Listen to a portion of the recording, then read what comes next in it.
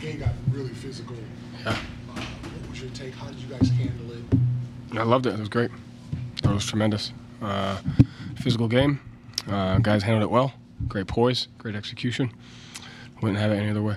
But you don't like to see Tatum get trucked like that. I don't like to see him. I'm great. I'm glad that he's fine. Uh, what I liked most was just how he, he jumped right up, didn't lay around, didn't really phase him. Just he went right up, went to the free throw line, did his business. So uh, I don't like the fact that he did it, but I'm happy he was okay. But I'm more happy how he responded to it. Just get up, move on to the next play, and uh, the team responded well too. So it's a credit to him. I mean, like I said, I just like how JT handled it. It's great. Get hit like that, pop right back up. It's big time.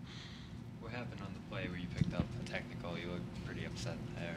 Yeah, I mean, looks can be deceiving. I was fine. I mean, I just thought that there was a miscommunication between the officials and I, and we just had to get it settled.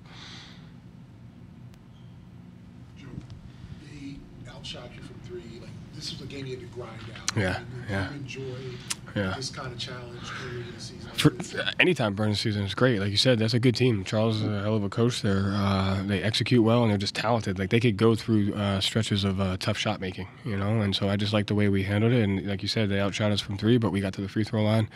Uh, we were more physical on our layups, and I thought we just made winning plays. So. Uh, again, this this uh, the, the season's about finding ways to win, building identities, and uh, I thought tonight was a step in that direction. You know. How much confidence do you have in guys like Jordan Walsh and Neemias Queta who are now playing like big fourth quarter minutes in close games who maybe weren't in the rotation a few months ago? I'll put it this way: if they're on the floor, I believe in them. Joe, can you speak to the decisions that you made at the center position, especially how thin you are without Chris Dobson out? Yeah, like I said, if they're on the floor, I believe in them. So it's been a strength of our, uh, really, I think, you know, since I've been here, it's been a strength of our, our roster. Uh, we just have guys that we believe in. They work really hard. The player development team work with them.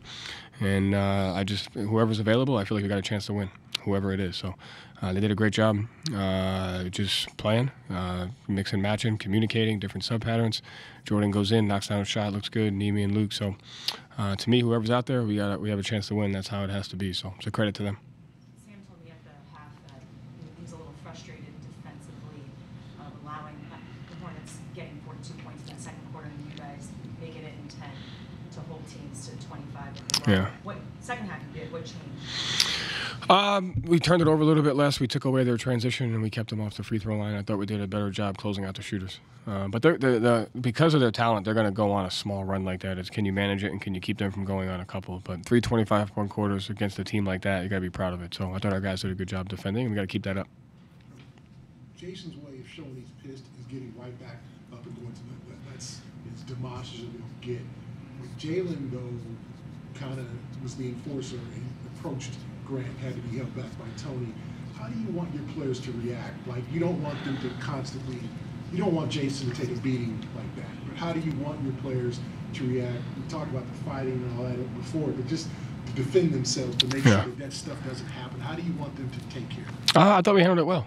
Uh, everyone's got their own way of handling it. As long as we, as long as we got each other's back and we have a team. But I thought uh, after the technical, Jaylen went on like a 6-0 run. He got to the free throw line. It's just to me, you just can you hone your focus in on even more of the details and the execution and the physicality, and can we win the mental, emotional, and psychological battles that are going on throughout the game? It's the most important thing. But so as long as we have each other's back, uh, that's all that matters.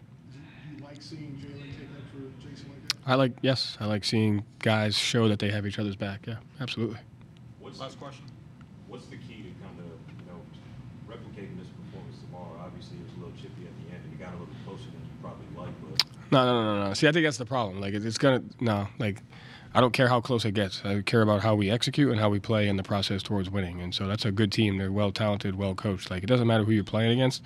I'm not looking to win by a large margin. We're looking to go to the process of winning every single game and whatever that looks like. And if it has to be a one point win, it's got to be a one point win. And uh, you could play really well and lose. You could play really good and, and you could play really well and, and win or lose, and vice versa. So at the end of the day, I don't care how close it is. I care about uh, the approach and the way we play. And I thought today we had a great approach to the game.